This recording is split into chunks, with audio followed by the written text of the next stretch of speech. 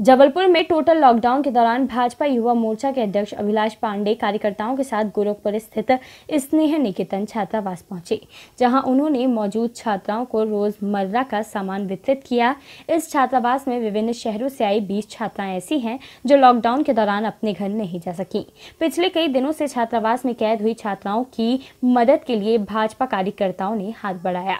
भाजपा युवा मोर्चा का कहना है कि संकट की घड़ी में लोगों की मदद करना ही सबसे बड़ी प्रभु सेवा है। हम सब लोग स्नेह निकेतन छात्रावास आए। गोरखपुर में ये स्थित है। हमारे नवनीत भाई और उनकी पूरी टीम के द्वारा लगातार जो लॉकडाउन में जो सेवा का कार्य किया जा रहा है, यहाँ 20 बच्चियाँ रहती हैं। उनकी सेवा के लिए नवनीत जी ने अपनी तरफ़ से जो संभव हुआ वो मदद की है। मध्य प्रदेश में भारतीय जनता युवा मोर्चा लगातार इस तरह की सेवा कर रहा है। और सेवा ही संकल्प इस नारे के साथ। मैं अपने लिए नहीं, अपनों के लिए हूँ। इस विचार को हम सब लेकर चल रहे हैं।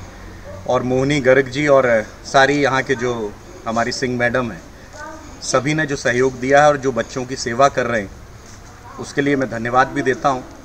और जो भी आवश्यकता यहाँ पर रहेगी, हम निरंतर मदद करते रहेंगे।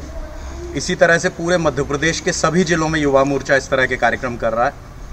मैं सभी से एक बार निवेदन करना चाहता हूँ कि हम सब आपकी मदद कर रहे हैं। प्रदेश के मुख्यमंत्री आदरणीय शिवराज सिंह चौहान जी, भारतीय जनता पार्टी के अध्यक्ष आदरणीय वी डी शर्मा जी, लगातार प्रधानमंत्री जी और राष्ट्रीय अध्यक्ष जे पी नड्डा जी के आह्वान पर लगातार कार्यकर्ता अपने अपने क्षेत्रों पर सेवा पर जुटे हुए हैं। मैं सभी से फिर से निवेदन करता हूँ कि सभी घर पर रहें, सुरक्षित रहें और सावधान रहें। अपने और अपनों की चिंता में जो हम सहयोग कर सकते हैं, वो सहयोग करें। यही मेरा आप सबसे आग्रह और निवेदन है। बहुत बहुत धन्यवाद। प्रणाम, नमस्कार। रिपोर्ट खबर मध्य प्रदेश।